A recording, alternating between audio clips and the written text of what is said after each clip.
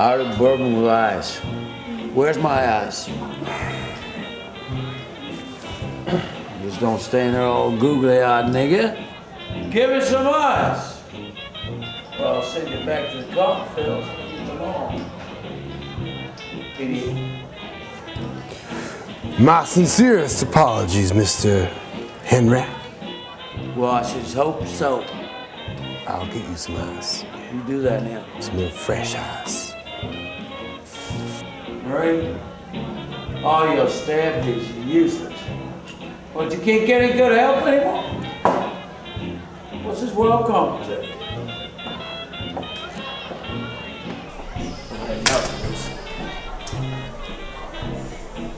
Mr. DuPont, before you leave, I'm still waiting on that money.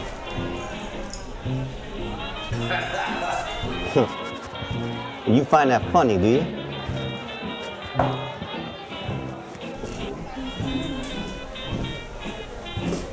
But I ain't laughing. In fact, I'm losing patience. I'm watching you, Mr. Henry. Well, I'll be watching you, Jimmy. Be lucky if I pay it all. Good looking at. Huh? Go. Well,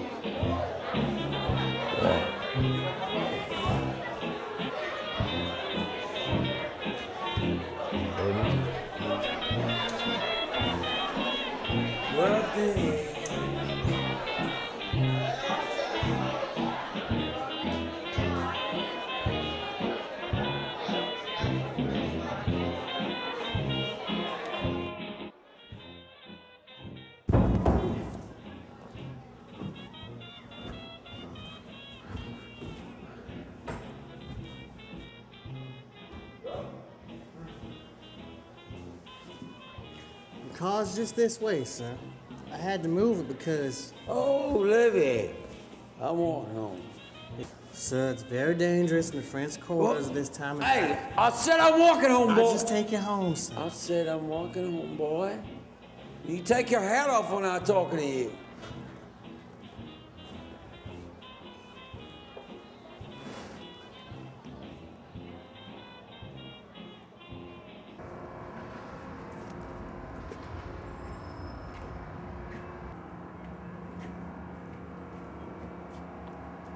What do you want?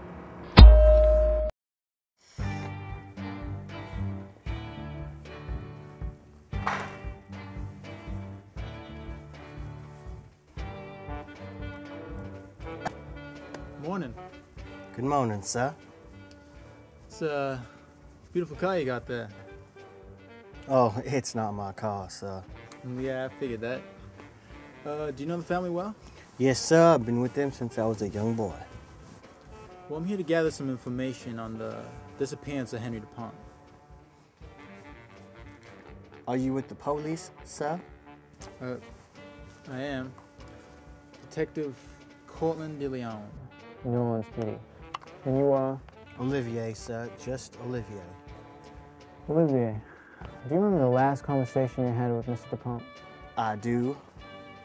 I was to, to drive him home, but he wanted to walk from the gentleman's club. I told him it was too dangerous, but in his stubborn nature, he refused to listen though. That was that was the last time I saw him, so Or anything else you could tell me about who he was with that? you, you best talk to Miss Scarlett and Isabel. I'm only their chauffeur. This way? Yes, sir.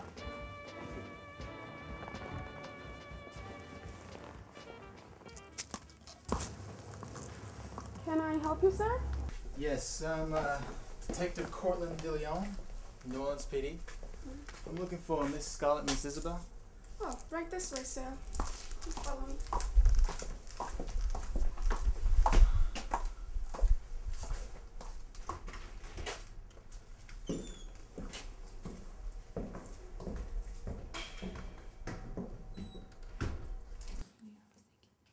Miss Scarlett, Mr. Pond, gentlemen callers here.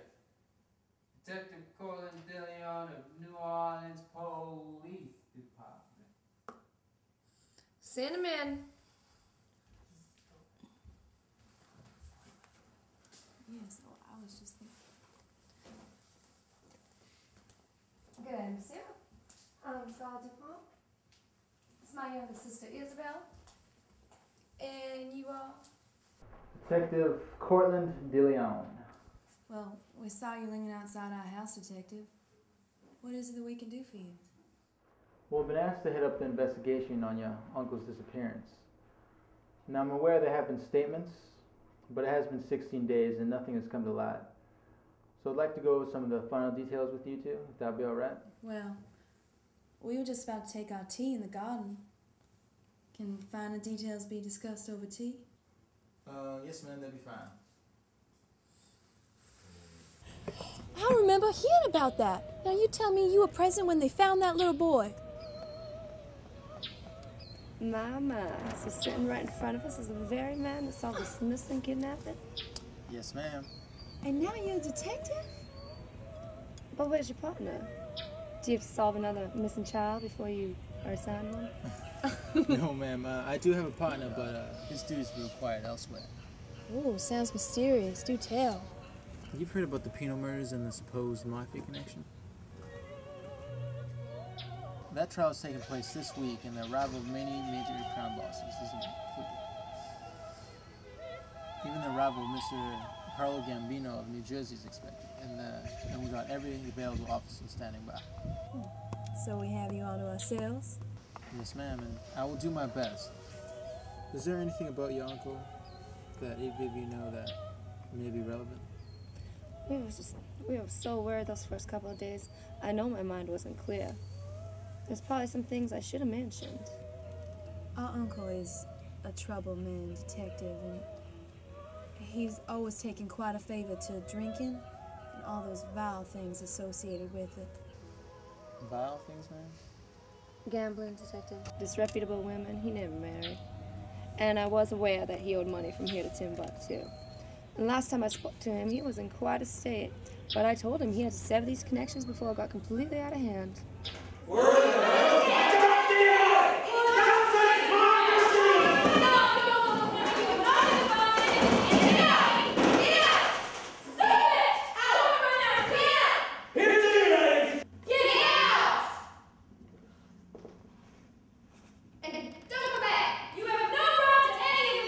Oh, he was quite angry with us, detective. He went the entire next day without speaking a single word. And then he left for his weekly card game at the Gentlemen's Club, and, well, we haven't seen him since. Was there anyone you know about that may have wanted to cause harm to your uncle? We weren't involved in his personal life, detective. But we've told you all that we know. Well, you've been a great help, man. Both of you. Mm. Thank you for the tea. This here shows a beautiful garden. Oh, mm. well, Uncle Henry will be pleased he thought so. These here roses are his pride and joy. Why it's. Uh, well, I'll leave you two the afternoon now. You have a good day. Yeah. Bye.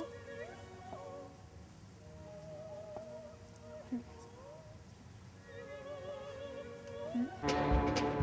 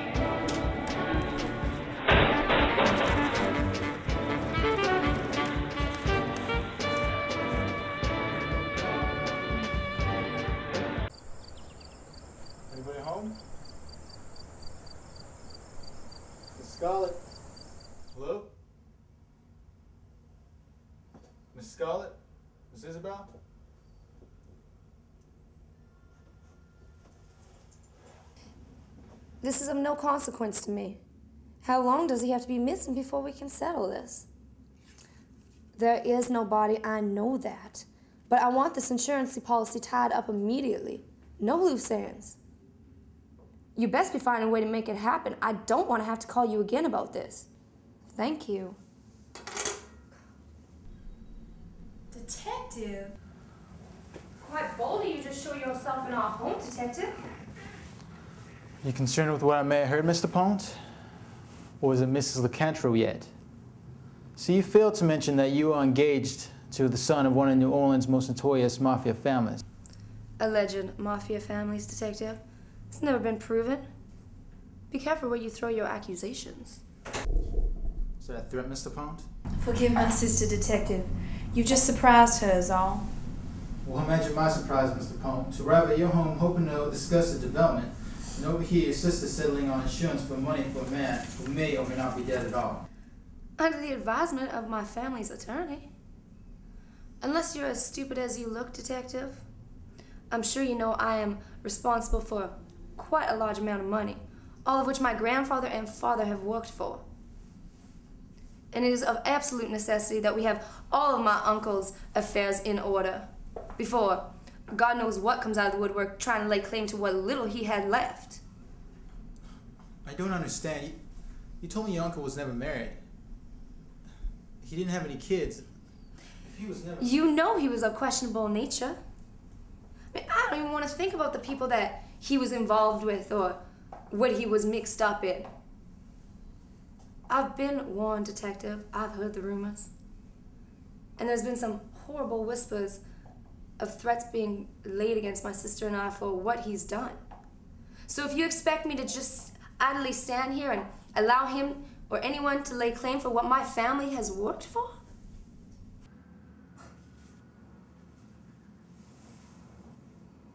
Have we not suffered enough?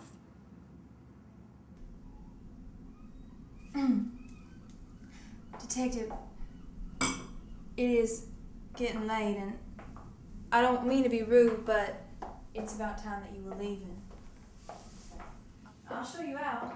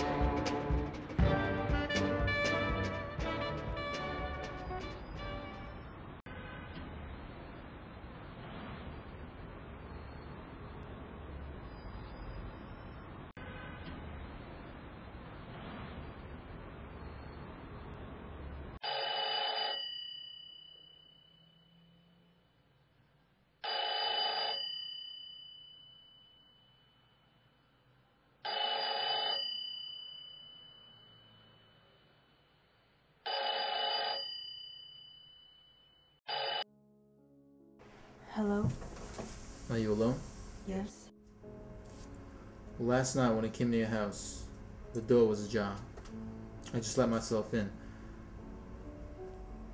It wasn't because the little bird told me I might happen over here, your sister speaking about insurance. I found a newspaper article regarding that horrible vehicle accident involving your mother and your father.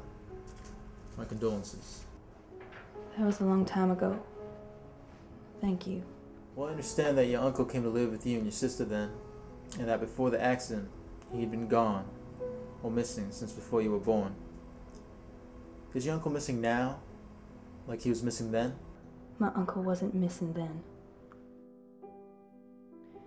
I'm sure that you've heard my uncle was a racist. However, he disappeared all those years ago because my grandfather discovered that he had become involved with a colored woman and fathered an illegitimate child. Dishonesty was unacceptable, and my uncle was sent away. And the girl, Paid off? What about the child? well, they were given sufficient means, and it was never to be brought up again. Imagine Scarlett's surprise when she became treasurer of our family's business and discovered that around the time of our parents' death and our uncle's ever so heroic arrival to save us, that money had begun to disappear without cause. Did you find out where it had been going? Nothing gets by Scarlett. She soon realized that my uncle had first been sending his own and then our money to his bastard child. After all my grandfather and father had done to maintain our family's dignity and privacy, What did your sister do? she confronted him about the gambling, the drinking, and about this, and she told him that unless he stopped risking our family's name, he would be cut off completely. So he simply confessed and begged for your forgiveness? No. Scarlett was also aware that he had borrowed money from Jimmy LeCantro, and Uncle Henry absolutely denied that. What a fool. She's engaged to his nephew, Dominic. He believed that his own business with the LeCantros would not get back to either of you? There are really only two possibilities. Either he was the dumbest thing this side of the Mississippi, or he believed we were. I really can't be sure. All I know is that you calling me in the middle of the night isn't helping him be found. Yes, ma'am. I'll keep in touch.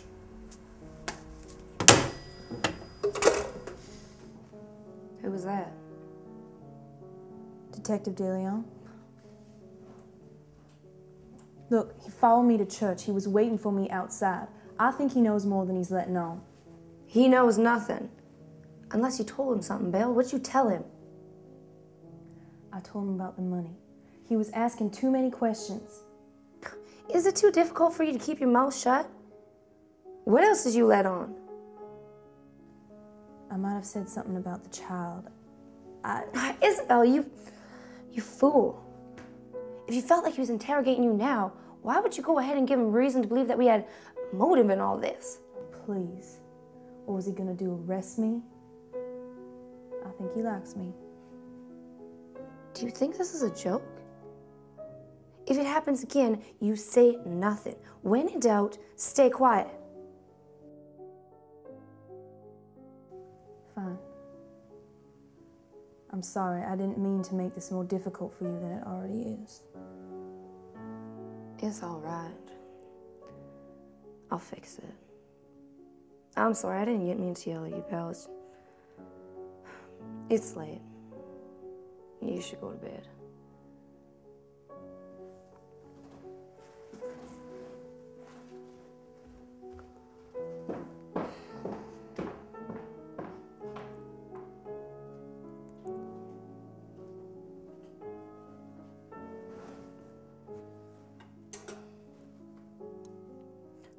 Rochelle, 255.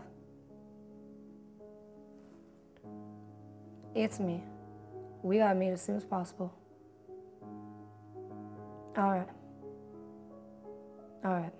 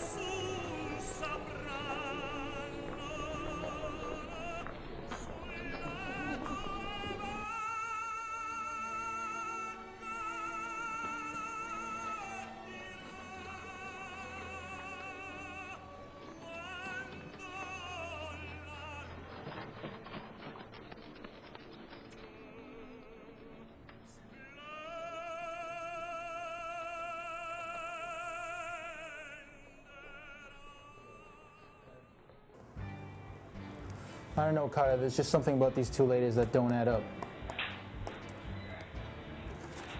Yeah. All right.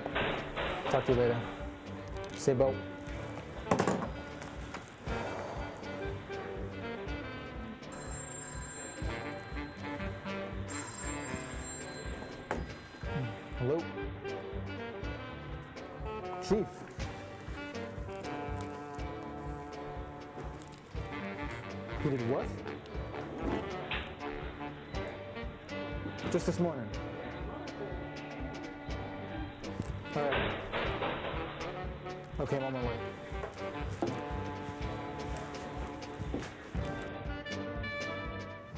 In breaking news today, Vincent Capernio has confessed to the murder of Mr. Henry DuPont of the DuPont Estate Fortune, bringing an unfortunate and feared conclusion to his almost three-week disappearance.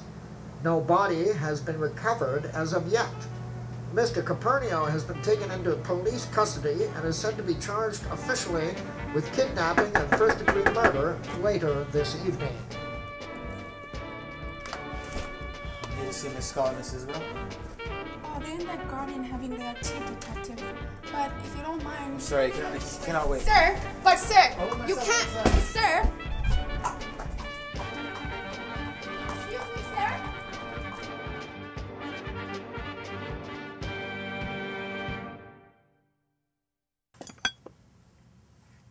sir. Detective, what a pleasant surprise. Have you heard something about Uncle Henry? Oh, have you found him? Where is he? Well, I'm truly sorry to interrupt your tea with the news that I have. Well, we have great reason to believe that Mr. Vincent Capernio is responsible for the disappearance of your uncle.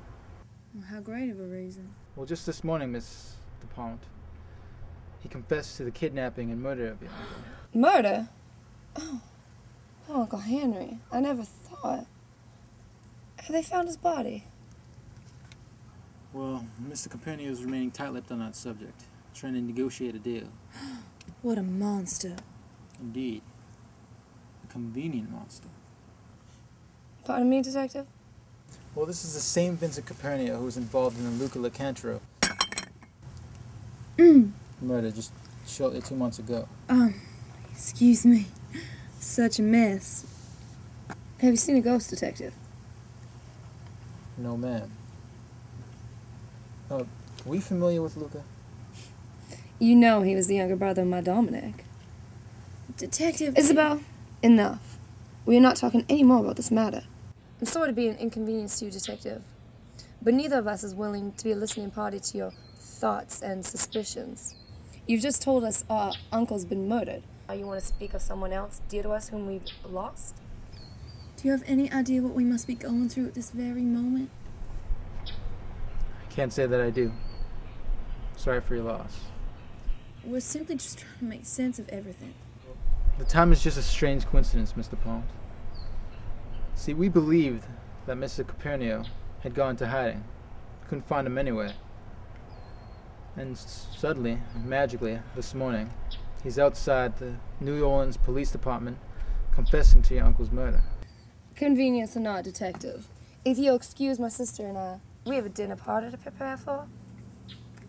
so you won't be calling off the festivities to grieve? Don't be smart with me, monsieur. Our uncle caused us nothing but grief.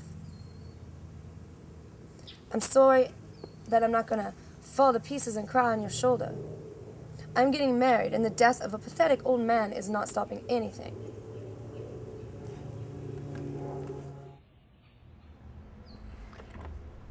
Isn't it funny, Detective, how people can think that you don't know what they've done when you know everything they've done? Here. For all your trouble. Besides himself, these roses were all my uncle loved in the world. He would have wanted you to have one.